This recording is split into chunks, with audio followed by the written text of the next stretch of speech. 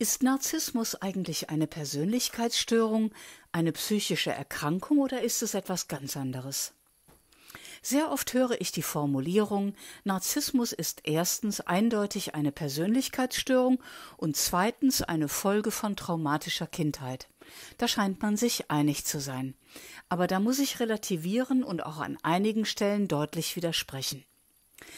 Die Selbstverständlichkeit, mit der diese Statements kommen, ist nicht gerechtfertigt, denn der Lebensalltag sagt etwas anderes, und diese zweifelhaften Grundannahmen führen immer wieder dazu, dass Frauen, die in einer toxischen Beziehung leben, meinen, sie könnten oder müssten diesen Menschen retten, dürften ihn nicht verlassen, müssten ihn mit all seiner Unzugänglichkeit und Rücksichtslosigkeit sogenannt bedingungslos lieben und verstehen darunter, dass sie selbst zu Boden gehen und jede Orientierung verlieren.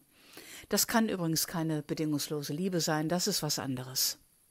Ja, und auch Männer, die in diesen Konstellationen leben, die es ohnehin noch schwerer haben, aus einer solchen Beziehung auszubrechen, leiden furchtbar unter diesen Gegebenheiten und jedes zusätzliche Missverständnis erschwert auch ihre Lage. Ich möchte heute einmal meine Sicht auf diese Dinge darstellen, vielleicht wird dadurch für den ein oder anderen manches klarer. Das Thema ist komplex und dieser Komplexität kann ich hier in einem Video nicht gerecht werden, aber ich kann die Aspekte aufgreifen, die ich zur Beantwortung der eingangs gestellten Frage heranziehen will. Ich fange mal mittendrin an. Was macht einen Narzissten aus? Ja, ihm fehlt jede Eigenwahrnehmung. Er ist mit seiner Aufmerksamkeit irgendwo außen oder in Gedanken unterwegs. Sehr selten ist dieser Mensch bei sich.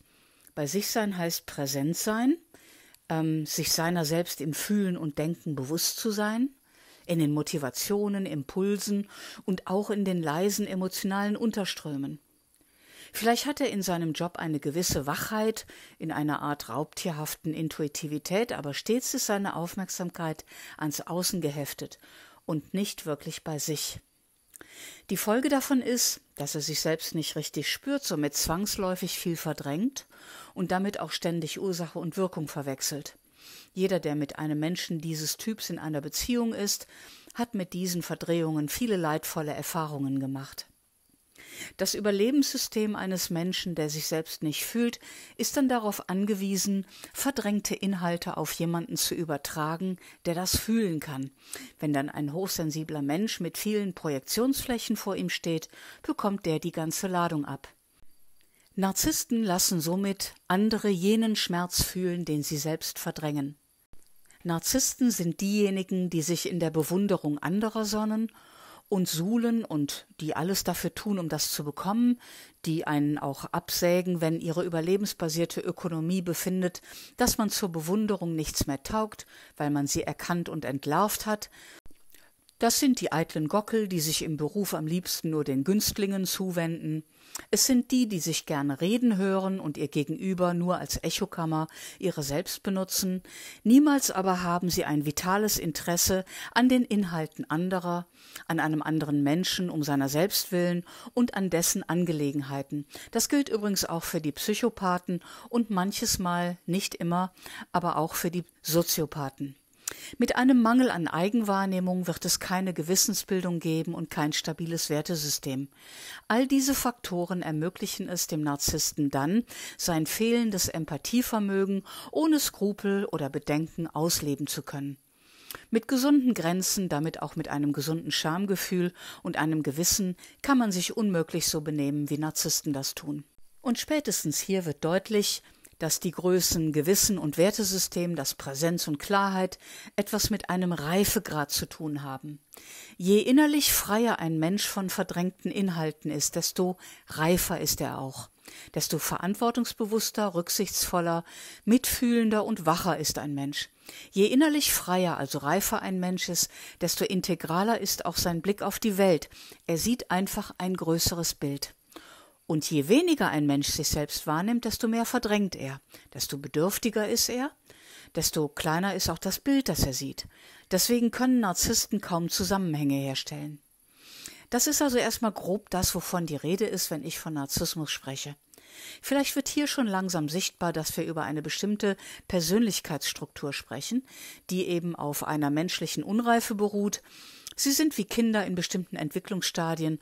Ob und inwieweit das wirklich eine Störung ist und ob das eine Traumafolge ist oder keins von beiden, das klären wir in wenigen Momenten.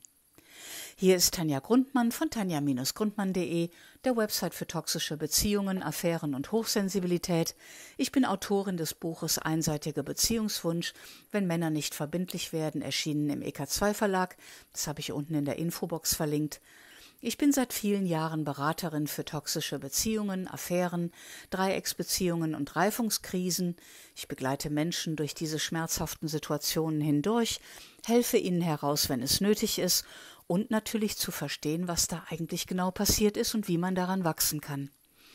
Wenn du eine persönliche Beratung brauchst, bist du herzlich eingeladen, meine Website zu besuchen oder das unten verlinkte Kontaktformular zu nutzen. Auf meiner Website kannst du dir ein hochwertiges Gratis-E-Book herunterladen und meine Seminarangebote finden. Und wenn dir meine Beiträge gefallen, klick den Abo-Button, so verpasst du keins meiner Videos. Wir wissen jetzt grob, über welche Phänomene wir beim Narzissmus sprechen. Unterwegs im Beitrag werde ich auch noch auf ein paar Unterschiede zwischen Narzissten, Psychopathen und Soziopathen eingehen. Denn das scheint eine Rolle zu spielen bei der Frage, ob und inwieweit diese Menschen traumatisiert sind. Ich habe schon viele Jahre meinen Blick auf so Fragen wie hm, wem passiert was, wer wird unter welchen Umständen wie, was prägt Menschen wirklich im Sinne von, welche Abdrücke nimmt ein Mensch mit ins Erwachsenenleben? Wie ist sein Überlebenssystem programmiert? Und ich kann eins sagen, ich kenne unzählige Familien, in denen jemand so geraten ist, in denen jemand deutlich narzisstische Züge hat. Und zwar spreche ich hier von Familien, in denen nichts Besonderes los ist.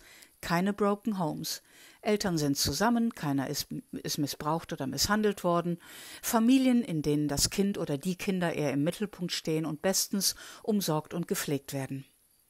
Bei näherer Betrachtung dieser Familien ist mir immer wieder eine ganz bestimmte Haltung aufgefallen bei den Eltern oder den erziehenden Elternteilen. Und vor allem in meiner Generation der erziehenden Eltern. Und an dieser Stelle sage ich ausdrücklich, dass natürlich nicht jede Familie so agiert hat, aber es waren wirklich viele. Ich bin jetzt 60 und die Kinder dieser erziehenden Generation sind jetzt zwischen 25 und 35. In dieser Generation von Eltern hat sich ein Phänomen breit gemacht, das ich als schuldgefühlsbasierten Erziehungsstil bezeichne. Das ist ein Erziehungsstil, der keine gesunden Grenzen kennt, der kein richtiges Maß kennt und in dem sich Eltern oft nicht trauen, dem Kind das Leben oder sich selbst zuzumuten. In vermeintlich guter Absicht wird versucht, dem Kind jeden Schmerz, jede Gefahr vom Hals zu halten. In Wirklichkeit jedoch haben wir versucht, uns selbst die Möglichkeit vom Hals zu halten, dass unserem Kind etwas zustoßen könne. Natürlich will das niemand und bis zu einem gewissen Grad ist es natürlich auch unsere Aufgabe, unsere Kinder zu beschützen, aber wir waren echt drüber. Verlust und Versagensängste prägen diesen Erziehungsstil. Vielleicht lagen wir auch manchmal intuitiv richtig, weil wir spürten, dass die Welt gefährlicher, psycho psychopathischer wurde. Schwer zu sagen, was zuerst da war, aber unser Erziehungsstil war deutlich schuldgefühlsbasiert. Ich kann mich mit meinen Grenzen und meinen Konturen dem Kind nicht zumuten. Ich muss das Kind schonen, darf es nicht persönlich zu sehr fordern. Das ist so eine Art ängstlicher Zurücknahme der eigenen Person an Stellen, an denen es wirklich niemandem nützt. Verpackt wurde das Ganze in eine Art demokratischer Erziehung, alle gleichberechtigt und mit gleicher Stimmberechtigung, etwas, mit dem Kinder ganz schnell überfordert sind, weil sie schlichtweg noch zu jung dafür sind. Natürlich kann man Mitspracherechte altersgerecht zunehmend einbauen, aber Erziehung ist nun mal keine gleichberechtigt demokratische Veranstaltung. Einem Kind fehlt hier ganz schnell der Halt, wenn die Eltern nicht diejenigen sind, die alles wissen und alles können, alles richtig machen und auch das letzte Wort haben. Wenn das Kind auf dieselbe Stufe gestellt wird, ist es selbst überfordert und gleichzeitig ähm, machen sich die Eltern dem Kind gleich. Also eine, das ist eine sehr, sehr ähm, angsteinflößende Erfahrung für ein Kind. Heraus kommt eine zaghafte Erziehung, immer auf der Hut, dem Kind nicht zu viel abzuverlangen oder etwas, das dem, äh, dem das Kind nicht zustimmt. Und viele Mütter meiner Generation hatten Angst, sich den Kindern, sich ihren Kindern in ihren gesunden Abmessungen zu zeigen und haben ihren Kindern damit das Wachsen an Widerständen vorenthalten. Kinder können sich selbst nur spüren und wahrnehmen, wenn sie die Vorgaben, Regeln und Grenzen der Eltern wahrnehmen und wenn sie eben daran wachsen können. Auch die Gesetze der Straße, in angemessenem Rahmen natürlich, tragen dazu bei, aber das Spielen auf der Straße, im Wald oder irgendwo, wo die Eltern nicht mal wissen, wo die Kinder sind, ist zunehmend verschwunden. Wie soll man aber wachsen und stark werden? Wie soll man lernen, was Rücksichtnahme und ein gesundes Urteilsvermögen ist, was allen dient, wenn man alles vom Hals gehalten kriegt?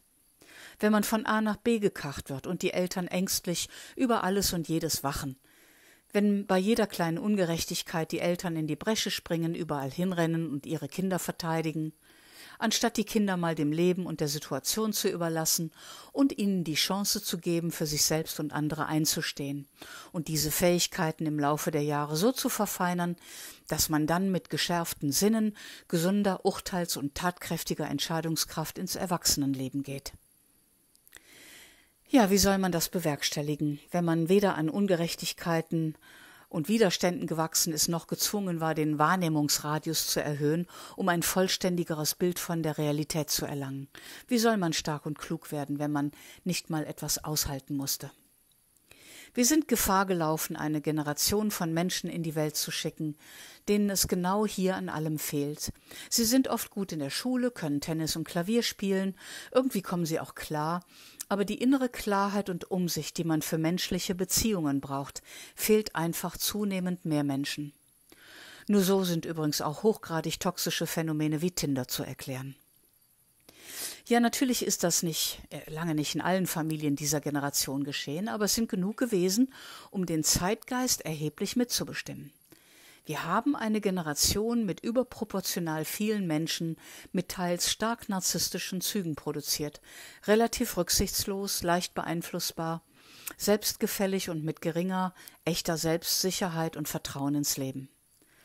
Es gibt noch ein paar mehr Faktoren, die erheblich zu der Zunahme des Problems Narzissmus beitragen. Da man aber zurzeit die Wahrheit nicht mehr ungestraft sagen kann, will ich mich an dieser Stelle mit weiteren Erläuterungen dazu zurückhalten. Die Familien, die einen Nährboden für klassischen Narzissmus bilden, sind also eher Familien, in denen genau nicht geprügelt, getrunken, vernachlässigt und misshandelt wurde. Es sind Familien, die so wenig imstande sind, gesunde Grenzen und Widerstände zu liefern, dass man im weitesten Sinne von einem Trauma sprechen kann, das durch das Ersparen des Lebens, das Verschonen von Realität entstanden ist. Und herauskommt in extremeren Fällen eine emotionale Verwahrlosung. Narzissten sind also eher nicht misshandelt, sondern zu sehr verwöhnt worden. Ihnen hat man das echte Leben vom Hals gehalten, ihre Bedürftigkeit besteht dann darin, dass sie nie gelernt haben, mit ihren Gefühlen klarzukommen. Die lernt man nicht mal kennen, wenn man nur mit Hand, äh, Samthandschuhen angefasst wurde. Folglich müssen sie später die Gefühle anderer unter Kontrolle bringen. Bei allem, was ich auch hier sage, gilt natürlich, dass das nicht zu 100 Prozent so ist, ja. Es gibt auch Narzissten, die sind misshandelt, vernachlässigt oder missbraucht worden.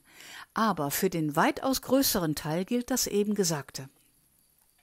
Kommen wir zu den Psychopathen. Die Psychopathen sind in ihrer fehlenden Eigenwahrnehmung und den gesamten Folgen genauso gestrickt wie die Narzissten, aber sie sind weder so eitel noch sind sie so bedürftig. Sie sind eher die Abwartenden, die Beobachtenden, die, die Studierenden, die aus Kalkül handelnden, Handelnden, und zwar meist völlig ungeachtet dessen, was andere über sie denken. Auch hier fällt auf, dass ein Großteil derer, die so strukturiert sind, nicht aus kaputten Elternhäusern kommen. Die gibt es zwar natürlich, aber hier, auch hier bei den Psychopathen scheint es eine Mehrzahl an Menschen zu geben, die eben nicht die klassische schwere Kindheit hatten. Und ich rede auch hier von Familien, in denen die Eltern zusammengeblieben sind oder sich einigermaßen in Frieden getrennt haben, Familien, in denen keiner gesoffelt, geprü gesoffen, geprügelt, unterdrückt, missbraucht oder passiv-aggressiv kontrolliert hat.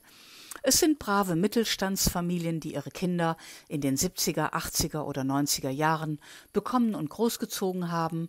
Vater Lehrer, Mutter Abteilungsleiterin bei C&A, Vater selbstständiger Bäcker, Mutter arbeitet mit, Vater Personalchef bei der Akzochemie, Mutter Hausfrau. So sahen die Familien aus, neben denen ich groß wurde. Und in diese Familien mit ihrem Einfamilienhaus, den regelmäßigen Schulferien, dem Wohnwagen, der allsommerlich mit der ganzen Familie in die Bretagne gezogen wurde, da irgendwo in die Geschwisterfolge wurde ein Kind mit psychopathischer Grundstruktur hineingeboren. Und ich kann euch eins sagen, nicht diese Kinder wurden von den Eltern traumatisiert, sondern oft wird eine ganze Familie von diesen Kindern traumatisiert. Sie triezen, spielen, übrigens im ganz frühen Alter schon, spielen Geschwister gegeneinander aus, Eltern gegen ihre Kinder aus. Und mit ihrer autistischen Unerziehbarkeit halten sie ganze Familien in Schach, Sie sind oft eine enorme Bürde für eine Familie, denn ständig geht es nur um sie, man macht sich Sorgen um sie, tritt leise um sie herum, um sie nicht zu reizen, oder sie haben wieder jemanden so verletzt, dass sich die halbe Familie um dieses Familienmitglied kümmern muss. Oder was eigentlich öfter vorkommt, Eltern haben vielfach Angst vor diesen Kindern und trauen sich nicht, die Opfer von deren psychopathischen Übergriffen zu verteidigen so dass es dann ein psychopathisches Kind gibt, was sich alles rausnehmen kann und verschont wird, und gerne auch in derselben Familie ein hochsensibles Kind, was das alles aushalten muss, ohne von den Eltern irgendwie Rückendeckung zu bekommen. Die Opfer dieser Geschwister bleiben völlig alleine mit den Qualen, meistens ist das so, oft eine ganze Kindheit lang. Die Eltern packen ihr Übersehen der Missstände in eine Gleichbehandlung aller Kinder oder in ein Tadeln des gequälten Kindes. Da wird an seine Vernunft appelliert, oder das heißt, der Klügere gibt nach, oder du bist der Ältere, also regel das, sei nicht so empfindlich, dein Bruder meint das nicht so, weiß doch, wie er ist. Ich kenne ganze Reihe Familien, in denen das so ist. Auch früher gab es schon das Phänomen Psychopath oder Narzisst, damals hieß das anders.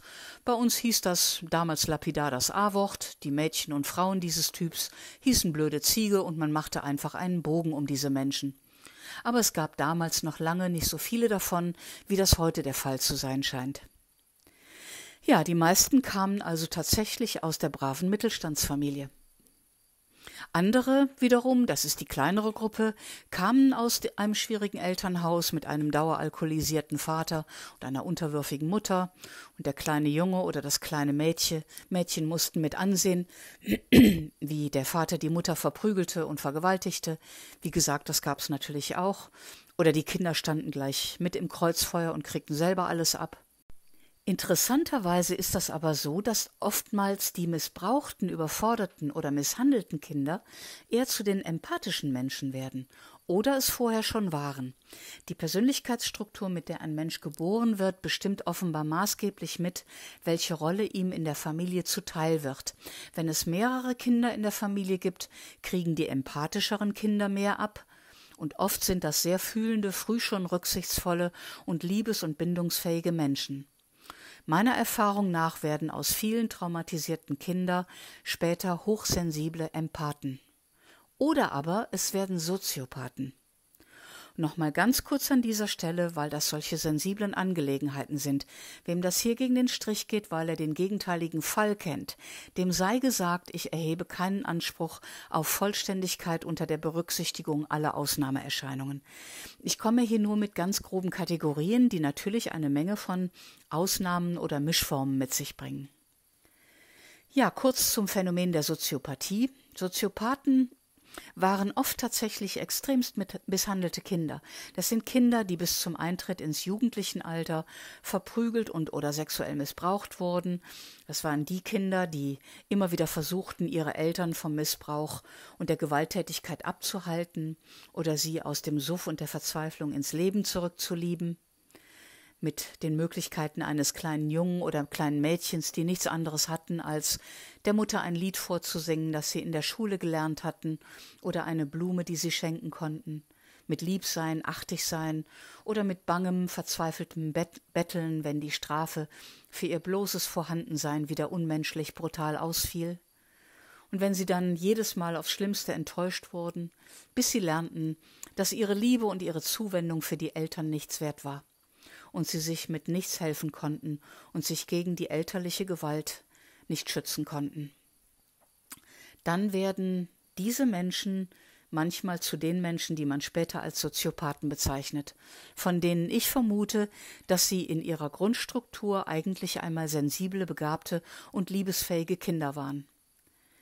Später, nach Jahre, jahrzehntelanger Tortur, sind das dann die Menschen, die eine fehlende Impulskontrollsteuerung haben, zu stark sind die schmerzvollen Emotionen, die sie immer wieder heimsuchen, von denen diese Menschen überwältigt und überfordert werden.